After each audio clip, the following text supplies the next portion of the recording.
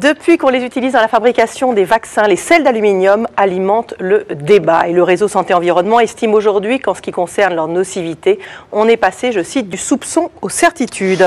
Techniquement, 25 euh, à 600 microgrammes de sel d'aluminium par dose suffisent pour stimuler la réaction immunitaire. En fait, ça induit une petite réaction inflammatoire sur l'endroit où on injecte. Et euh, si la majorité des spécialistes estiment qu'une fois injecté dans le corps, l'aluminium va se dissoudre spontanément sans effet toxique. D'autres avancent le contraire. Oui, c'est notamment l'avis du professeur Romain Garardi qu'on va accueillir sur ce plateau, qui est directeur de recherche à l'INSERM et qui travaille à l'hôpital Henri Mondor à Créteil. Bonjour. Bonjour. Bonjour. Alors, ça fait bientôt 18 ans que vous étudiez avec votre équipe euh, l'effet des sels d'aluminium des vaccins sur l'organisme. Qu'est-ce que vous avez constaté?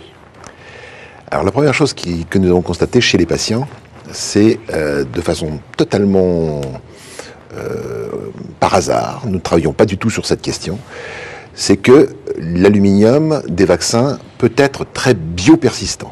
C'est-à-dire que tout le monde pensait, comme vous l'avez dit, que euh, quelques semaines après la vaccination, l'aluminium était solubilisé, éliminé dans les urines. Et nous avons observé que, au moins dans une fraction de patients, ça n'était pas le cas et qu'on pouvait trouver de très nombreuses années après le vaccin des particules d'aluminium d'origine vaccinale dans les cellules immunitaires qu'on appelle les macrophages au site de vaccination antérieure du vaccin. Donc, le premier euh, élément d'alerte a été dire il y avait quelque chose qu'on n'avait pas vu sur cet adjuvant et qui là est avéré de façon absolument certaine chez certains patients cet aluminium persiste de très nombreuses années.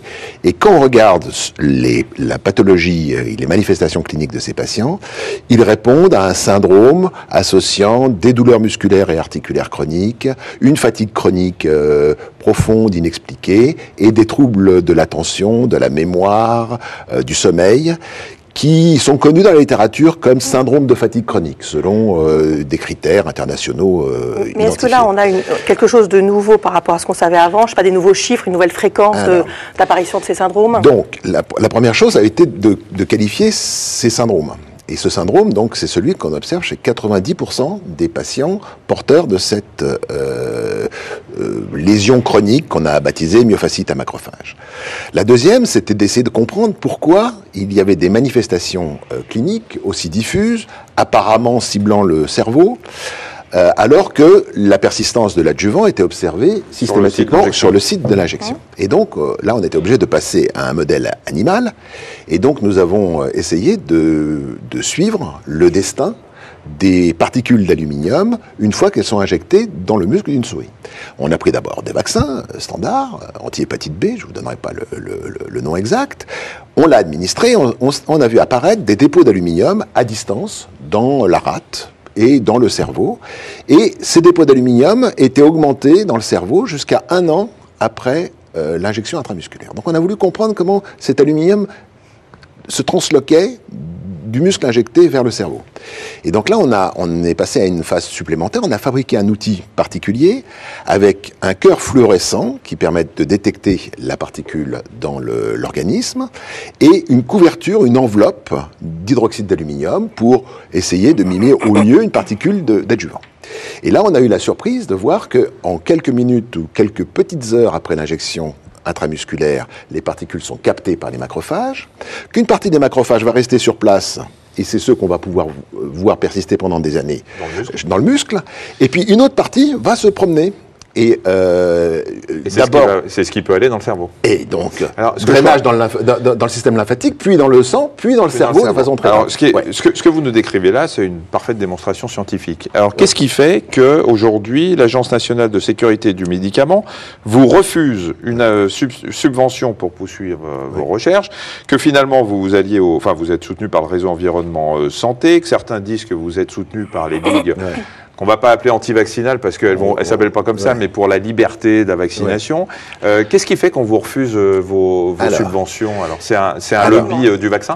Eh ben Écoutez, ça, moi, j'aimerais bien en, savoir exactement les, les déterminants. Ce que je note simplement, c'est que le projet qui a été refusé est un projet que nous avons traité en amont avec l'Agence du médicament, à leur demande, en disant euh, ils nous ont proposé, euh, vous avez, semblez avoir des résultats nouveaux, vous allez nous les soumettre, on va les expertiser, vous allez nous, nous proposer euh, des études complémentaires, on va les expertiser, et on va faire comme ça une sorte de navette entre vous et nous, entre nos experts et vous, jusqu'à ce que le dossier soit impeccable. Et donc, pendant euh, plusieurs mois en 2010, ce travail, euh, ce cercle vertueux d'interaction entre un groupe de recherche et l'agence du médicament a eu lieu.